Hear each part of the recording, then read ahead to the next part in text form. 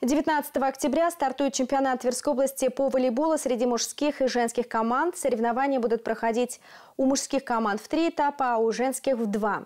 Первый этап среди мужчин состоится 19 и 20 октября, второй и третий через каждые две недели. Место проведения – состязаний спортивный комплекс «Юбилейный». Женщины сразятся за звание чемпионок в двух городах. Первый этап пройдет в Удомле 26 и 27 октября – а также 2 и 3 ноября.